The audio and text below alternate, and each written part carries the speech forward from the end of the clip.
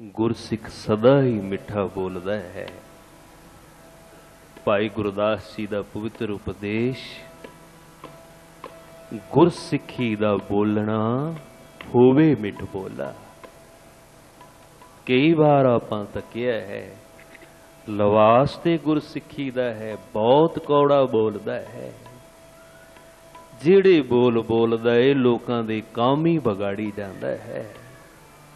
ਦਿਨ ਰਾਤ ਬੇਕਾਰ ਦੇ ਬੋਲ ਬੋਲਦਾ ਏ, ਹਾਂ ਬਈ, ਇਹ ਦਿਖਾਵੇ ਦਾ ਸਿੱਖ ਹੈ, ਗੁਰੂ ਦਾ ਨਹੀਂ। ਗੁਰੂ ਦੇ ਸਿੱਖ ਦੀ ਤੇ ਨਿਸ਼ਾਨੀ ਇਹ ਹੈ, ਗੁਰਸਿੱਖੀ ਦਾ ਬੋਲਣਾ ਹੋਵੇ ਮਿੱਠ ਬੋਲਾ। ਭਾਈ ਗੁਰਦਾਸ ਜੀ ਦਾ ਪਵਿੱਤਰ ਉਪਦੇਸ਼, ਆਓ ਮਨ ਬੀਤੀਆਂ ਜੋੜੀਏ, ਰਸ ਮਾਣੀਏ।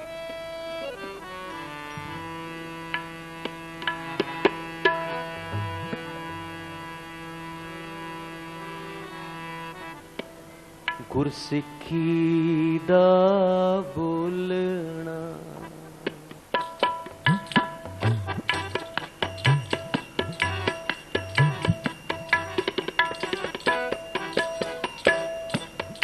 ਗੁਰਸਿੱਖੀ ਦਾ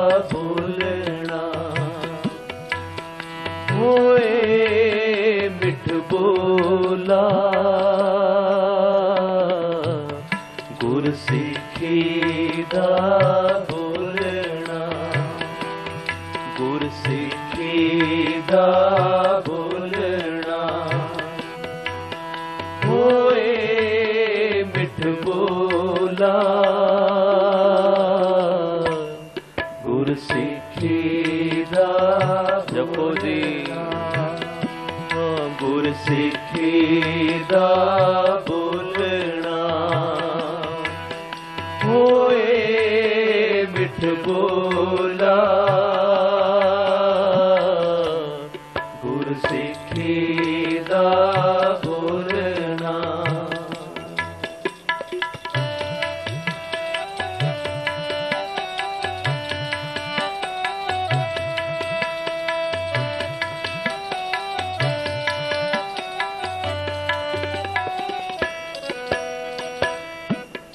ਗੁਰਸਿੱਖੀ ਦਾ ਚੱਲਣਾ ਚੱਲੇ ਪੈ ਵਿੱਚ ਲੀਤੇ ਮੇਕੇ ਗੁਰਸਿੱਖੀ ਦਾ ਰਾਏ ਹੋ। ਗੁਰਮੁਖ ਚਾਲ ਚੱਲੇ ਸੋ ਦੇਖੈ। ਲਿਖੇ ਨ ਲੇਖੈ। ਲਿਖੇ ਨ ਲੇਖੈ ਗੁਰ ਸਿੱਖੀ ਦਾ ਬੋਲਣਾ। ਹੋਏ ਮਿੱਠ ਬੋਲਾ ਗੁਰ ਸਿੱਖੀ ਦਾ ਬੋਲਣਾ।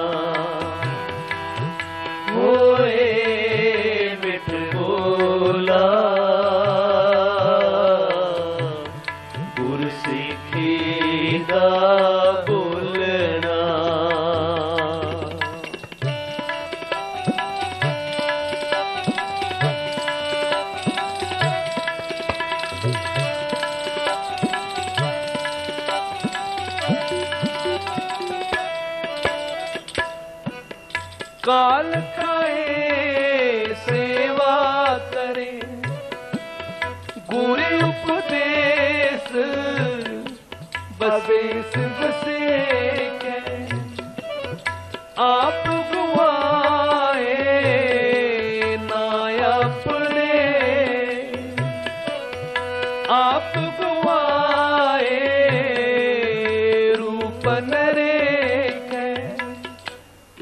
ਲਿਖੇ ਨ ਲੇਖੈ ਲਿਖੇ ਨ ਲੇਖੈ।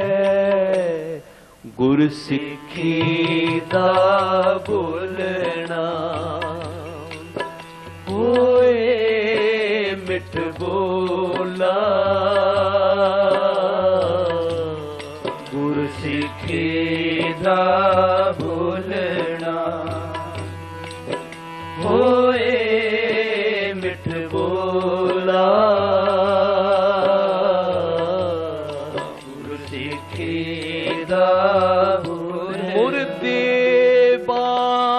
ਮਰੀਦ ਹੋਏ, ਗੁਰ ਗੋਰੀ ਬੜ ਅਲਖ ਅਲੇਖ, ਅੰਤ ਨ ਅੰਤ ਨ ਸੇਖ ਸਰੇਖ।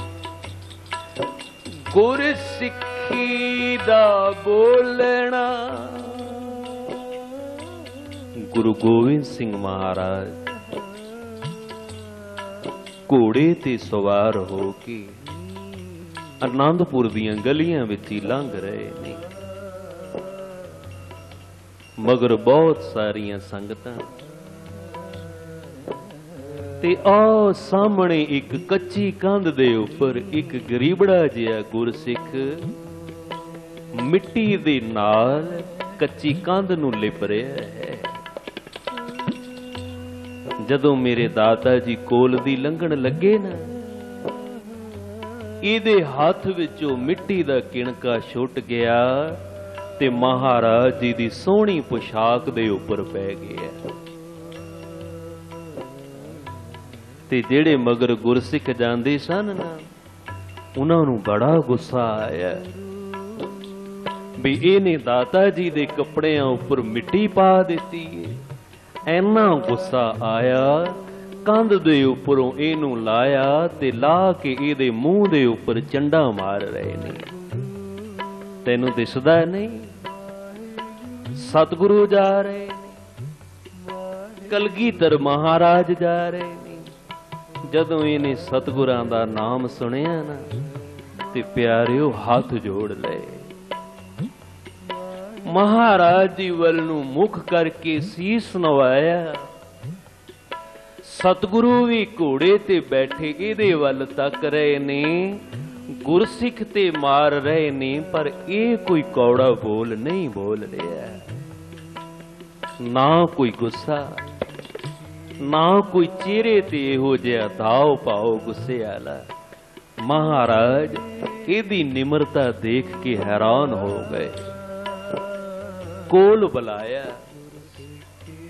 ਕਹਿੰਦੇ ਨੇ ਗੁਰਸਿੱਖਾ ਇਹਨਾਂ ਤੇਰੇ ਮੁਖ ਦੇ ਉੱਪਰ ਚੰਡਾ ਮਾਰੀਆਂ ਨੇ, ਮੈਨੂੰ ਚੰਗਾ ਨਹੀਂ ਲੱਗਿਆ।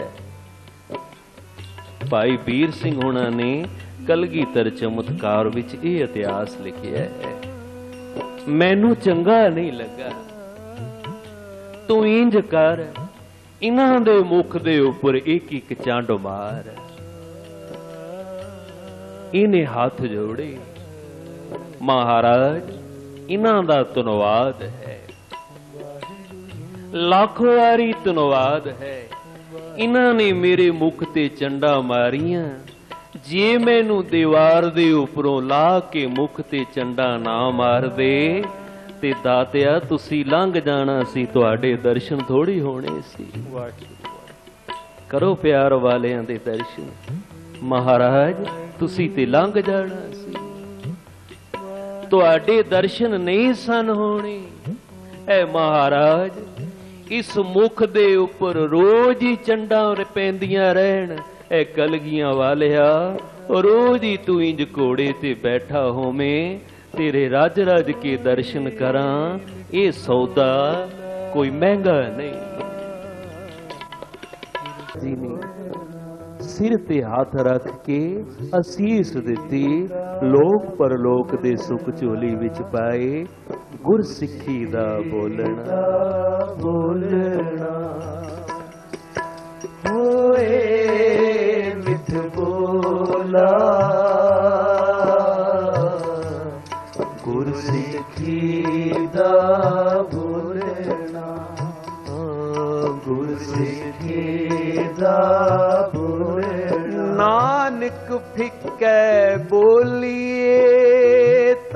ਮਨ ਫਿੱਕਾ ਹੋਏ।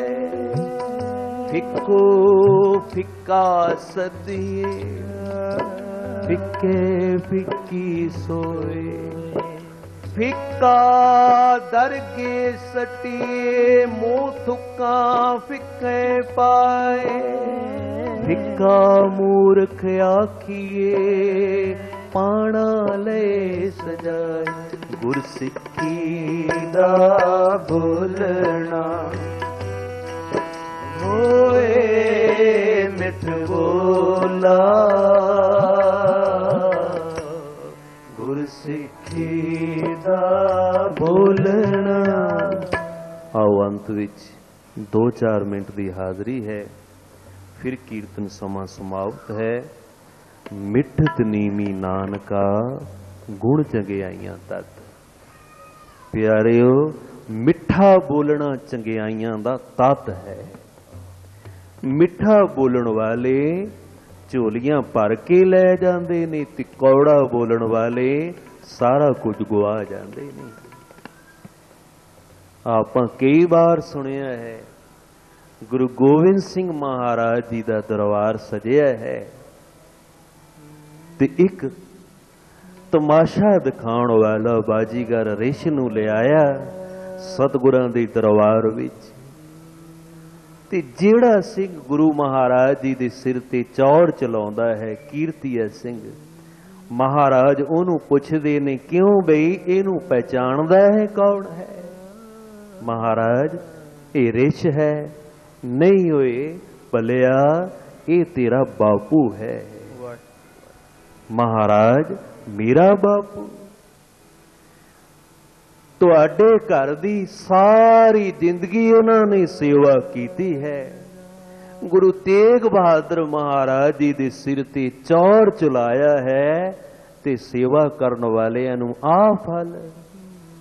ਨਹੀਂ ਬਈ, ਇੱਕ ਦਿਨ ਉਹਨੇ ਕੌੜਾ ਬੋਲ ਬੋਲਿਆ ਸੀ। ਦੀਵਾਨ ਸਜਿਆ ਹੈ। ਅੱਜ ਗੁਰੂ ਤੇਗ ਬਹਾਦਰ ਮਹਾਰਾਜ ਜੀ ਦੇ ਦਰਸ਼ਨ ਕਰਨ ਵਾਸਤੇ ਬਹੁਤ ਸੰਗਤਾਂ ਆਈਆਂ ਨੇ। ਪ੍ਰਸ਼ਾਦ ਵਰਤ ਰਿਹਾ ਏ। ਇੱਕ ਦੀਮੀਦਾਰ ਬਲਦਾਂ ਵਾਲਾ ਗੱਡਾ ਲੈ ਕੇ ਜਾ ਰਿਹਾ ਏ। ਤੱਕਿਆ ਵੀ ਮਹਾਰਾਜ ਜੀ ਦਾ ਦਰਬਾਰ ਸਜਿਆ ਏ। ਗੱਡਾ ਰਸਤੇ ਵਿੱਚ ਰੋਕ ਕੇ ਆ ਗਿਆ ਵੀ ਮੈਂ ਮੱਥਾ ਟੇਕਿਆ ਮਾਂ ਨਮਸਕਾਰ ਕਰਨ ਆਇਆ। ਖਿਆਲ ਇਹਦਾ ਬਲਦਾਂ ਵੱਲ ਹੈ, ਕਿਤੇ ਗੱਡਾ ਇਧਰ ਉਧਰ ਨਾ ਲੈ ਜਾਣ। ਨਮਸਕਾਰ ਮਹਾਰਾਜ ਜੀ ਨੂੰ ਕੀਤੀ ਤੇ ਫਿਰ ਹੱਥ ਜੋੜ ਕੇ ਆਖਿਆ, ਪ੍ਰਸ਼ਾਦ ਮੰਗਿਆ ਇਹਦੇ ਪਿਤਾ ਕੋਲੋਂ। ਗੁਰੂ ਗੋਬਿੰਦ ਸਿੰਘ ਮਹਾਰਾਜ ਸੁਣਾ ਰਹੇ ਨੇ, ਤੇਰੇ ਬਾਪੂ ਕੋਲੋਂ ਪ੍ਰਸ਼ਾਦ ਮੰਗਿਆ। ਤੇ ਉਹਨੇ ਕੌੜਾ ਬੋਲ ਬੋਲਿਆ ਵੀ ਕਿਉਂ ਰਿਸ਼ ਵਾਂਗ ਟੱਪੀ ਜਾਂਦਾ ਏ? ਤੇਰੇ ਕੋਲੋਂ ਬੈਠਿਆ ਨਹੀਂ ਜਾਂਦਾ। ਇੱਕ ਕੌੜਾ ਬੋਲ ਬੋਲਿਆ, ਸਤ ਸੰਗਿਓ, ਰਤੀ ਜਿੰਨੀ ਵੀ ਮੈਲ ਗੁਰੂ ਨਾਨਕ ਦੇ ਘਰ ਪ੍ਰਵਾਨ ਨਹੀਂ। ਉਹਦੇ ਮਨ ਵਿੱਚ ਸ਼ਰਧਾ, ਬਗੈਰ ਪ੍ਰਸ਼ਾਦ ਤੋਂ ਤੁਰ ਗਿਆ, ਰਿਸ਼ ਹੋਵੇਂਗਾ ਤੂੰ। ਮੈਂ ਤੇ ਗੁਰੂ ਦਾ ਸਿੱਖ ਹਾਂ। ਅੱਜ ਉਹ ਬੋਲ ਇੱਕ ਕੌੜਾ ਬੋਲ ਤੇਰਾ ਬਾਪੂ ਇਸ ਰਿਸ਼ ਦੀ ਜੂਨੀ ਵਿੱਚ ਪਿਆ ਹੈ। ਪਿਆਰਿਓ, ਉਹਦਾ ਤੇ ਉਧਾਰ ਮੇਰੇ ਦਾਤਾ ਜੀ ਨੇ ਕਰ ਦਿੱਤਾ। ਉਹਨੂੰ ਜਨਮ ਮਰਨ ਤੋਂ ਕੱਢ ਦਿੱਤਾ। ਜੇ ਅਸੀਂ ਗੁਰੂ ਨਾਨਕ ਦੇ ਘਰ ਚੁੱਕਦੇ ਵੀ ਹਾਂ ਨਿਤਨੇਮ ਵੀ ਹੈ, ਸਿਮਰਨ ਵੀ ਹੈ, ਬੋਲ ਕੌੜੇ ਨੇ ਤੇ ਫਿਰ ਗੁਰੂ ਨਾਨਕ ਦੀ ਨਜ਼ਰ ਵਿੱਚ ਅਸੀਂ ਪ੍ਰਵਾਨ ਨਹੀਂ। ਮੇਰੇ ਦਾਤਾ ਜੀ ਬਾਣੀ ਵਿੱਚ ਕਹਿੰਦੇ ਨੇ, ਮਿੱਠਤ ਨੀਵੀ ਨਾਨਕਾ, ਗੁਣ ਚੰਗਿਆਈਆਂ ਤਤ। ਇਹ ਚੰਗਿਆਈਆਂ ਦਾ ਤਤ ਹੈ, ਲੱਖ ਚੰਗਿਆਈਆਂ ਕਰਕੇ ਤੂੰ ਕੌੜਾ ਬੋਲੀ ਜਾਵੇਂ ਤੇ ਕਾਦੀ ਤੇਰੀ ਚੰਗਿਆਈ ਹੈ?